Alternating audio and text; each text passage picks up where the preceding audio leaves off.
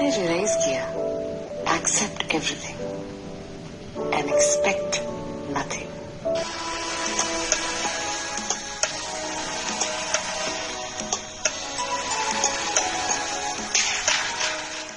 আসসালামু আলাইকুম। খালিদ মুর্শিদা ব্লগের পক্ষ থেকে সবাইকে স্বাগত এবং শুভেচ্ছা। আজকের দিনটা আসলে অন্যরকম, কারণ চারপাশে কেমন একটা থমথমে বিরাজ করছে। এই যে আমি তখন প্রায় বিকেল চারটা, সাড়ে চারটা হবে। চারপাশে দেখছি যে এই ফুলটা কিন্তু আসলে কোথা থেকে উড়ে এসে পড়েছে। তো হঠাৎ তাকাতে যেয়ে দেখি যে আসলে খুব ভালো লাগছিল, কিন্তু সবাই ভিতরে ভিতরে আতঙ্কিত। এই পাতাটাও উড়ে এসে পড়েছে। চারপাশের এই বাগান বিলাসগুলো কেমন চুপচাপ হয়ে আছে। মানে এক অন্যরকম অস্থিরতা সবার মধ্যে। কিন্তু এই পিচ্চিদের দেখে তখন মনে হলো তারা এই সমস্ত ভাবনার বাইরে।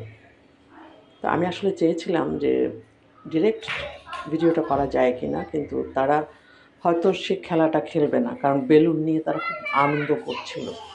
আসলে তাদের মাথায় তো এটা নেই। একটা কথা আমার যেটা মনে হয় যে আপনি দুশ্চিন্তাকে যদি সাথে নিয়ে চলেন তাহলে আর লাইফ করা যাবে না। এটাকে যত না জানা যায় তত ভালো, আবার না জানাটাও অনেক সময় ডিস্টার্বিং কিন্তু এই পিচ্চিরা যখন খেলতেছিল, ওরা তো বুঝতেছে না বিষয়টা বা ওরা, ওদের মাথায় তো অত গভীরভাবে এটাকে আটকানো নেই। যাই হোক, আমি খুব মানে আনন্দের সাথে তাদের খেলাগুলো দেখছিলাম, খুব এনজয় করছিলাম। বিশেষ করে বেলুনটা নিয়ে যে একবার উপরে উঠানো, নামানো ইট ইজ লাইফ এটাই কিন্তু লাইফের একটা বিশেষ পার্ট এই যে দেখে ফেলল এরা। বুঝে গেছে, কারণ তখন সে বুঝতে পারছে যে আমি ভিডিও করছি। আসলে আমি রুমের ভিতর থেকে ভিডিওটা করছিলাম। এই ফাঁকে তাদের ঘরের গার্ডিয়ানরা ডাকাডাকি শুরু করে দিয়েছে। যেহেতু ওনারাও ট্যান্সে আছেন সবাই, তো এখন আর খেলা বন্ধ, ঘরে ঢুকে গিয়েছে। আমিও চলে এলাম। এই ফাঁকে চলে এলো দ্বিতীয় দিন। টিপ টিপ বৃষ্টি পড়ছে সকাল থেকে। আসলে সকালের অবস্থাটা দেখে মনে হচ্ছিল কি বৃষ্টি আসবে কি আসবে না, বৃষ্টিও চিন্তা করছিল। তো আমি যখন উঠলাম তখন দশটায় বাই দ্য ওয়ে গ্যাস নাই, পানি আছে, কিন্তু ইলেকট্রিসিটি আসা যাওয়াতে আছে। আর এই বৃষ্টিটা পড়ছে তখন প্রায় সকাল সাড়ে দশটা এটা হচ্ছে চোদ্দ তারিখ মানে অর্থাৎ আজকের দিন। এই ফাঁকে আপডেট দেখতে গেলাম। আপডেটের অবস্থা হচ্ছে টেকনাফের বৃষ্টিটা গুড়ি গুড়ি বৃষ্টি শেষ, বাতাস বইছে। অপেক্ষায় যে আসলে ঘটনাটা ঘটবে কি। এ ফাঁকে হঠাৎ একটা বিষয় মনে পড়ে গেল। কিছুদিন আগে, প্রায় এক বছর হতে চলল, আমি গিয়েছিলাম যে কুমিরাঘাট। সেখানে সেখানে একটা লাইভ করেছিলাম, যেটা আপনারা সেকশনে লাইভ সেকশনে গেলে পাবেন। আসলে, এখান থেকে কিন্তু সাগরের উত্তাল বা সাগরের যে পরিস্থিতিগুলো, এটা দেখাটা এখান থেকে অনেক বেশি ইজি হয়।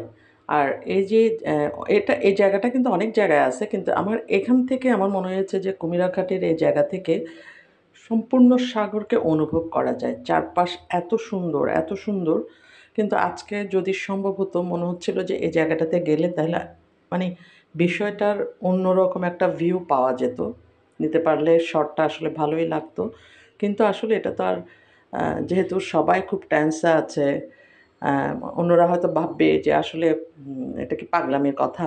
আসলে এটা পাগলামের কথা না, চাইলেই যাওয়া যেত।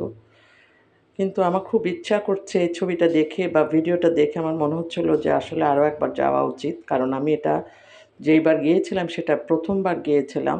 এর আগে একবার যখন গিয়েছিলাম তত অত ডিটেলসে দেখা হয়নি।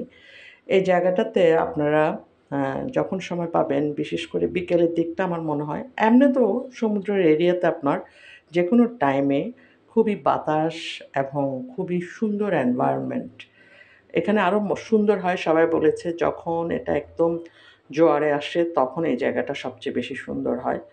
তা আমার তো এরকম দেখা সম্ভব হয়নি। আমি শুধুমাত্র এই জায়গাটা দেখাচ্ছি, এটা কিন্তু আরও অনেক দূরে। আপনি মেইন যে টার্মিনাল যেখান থেকে উঠে সেখানে যেতে হলে আপনাকে আরও অনেকটা পথ হাঁটতে হবে। হাঁটতে না পারলে এখানে ভ্যান গাড়ি আছে, ভ্যান গাড়ি দিয়েও যাওয়া যায়। তো সবচেয়ে মজা হয় ভ্যান গাড়ি দিয়ে যেতে। এটা আসলে লাইফটা দেখলে আপনারা বুঝতে পারবেন যে আসলে আমরা অনেক আমরা দুজন গিয়েছিলাম দুইজন, খুবই এনজয় করেছি। তো এখানে যখন পৌঁছেছি তখন একটা লেট হয়ে গিয়েছিল। এই সিঁড়িটা দিয়েও যাওয়া যায়, এখানে কিন্তু পানিতে ভর্তি হয়ে থাকে জোয়ারের সময়। তো জোয়ারের সময় গেলেই বরঞ্চ এখানকার ভিউটা অনেক সুন্দর অনেক সুন্দর। এটা দেখার একটা ইচ্ছা আমার মনের মধ্যে জাগ্রত। কখন যে যাব জায়গাটাতে? বাই ওয়ে চোদ্দ তারিখ এখন খুব চুপচাপ অবস্থা। কেটে উঠেছে বলছে যে বৃষ্টিটা অন্যদিকে চলে গিয়েছে, আলহামদুলিল্লাহ সব কিছুর জন্য। এই ফাঁকে আমি রান্নাঘরের দিকে গেলাম, দেখতে যে কি করা যায়, কিন্তু গ্যাস নাই। এগুলো আমার দিকে তাকায় আছে। এতদিন খাই নাই, এখন খাইতে ইচ্ছা করতেছে। মাই দেখলাম কি যে খিচুড়ি রান্না হয়েছে তাও প্রেশার কুকারে এটা ইলেকট্রিক চিংড়িটা রান্না হয়েছে ইলেকট্রিক ওভেনে গ্যাস তো যেহেতু নাই মানে এটা একটা মাথা ব্যথা। মাথা ব্যথা মানে চরম মাথা ব্যথা। তো ফাইনালি এই খিচুড়ি আর চিংড়ি, আমি আর একটা ভর্তা। এটা ভর্তাটা আমি নিজে, ওই যে বালা চাওয়ার ভর্তাটা, এটা সহ নিয়ে খেতে বসলাম কারণ আসলে আজকে খিদাও লেগেছে আজকে খুব দ্রুত মনে হচ্ছে যেন লাঞ্চ খেতে ইচ্ছা করতেছে অন্যান্য সময় আমি খেতে খেতে তিনটা সাড়ে তিনটা বাজে আজকে বেশি খিদে লেগে গিয়েছে যাই হোক খিচুড়ি চিংড়ি সব মিলে মানে গ্যাস নাই এটাই খুব বিরক্ত লাগতেছে আসলে চা খাইতে পারতেছি না এক কাপ চাটাও অনেক জরুরি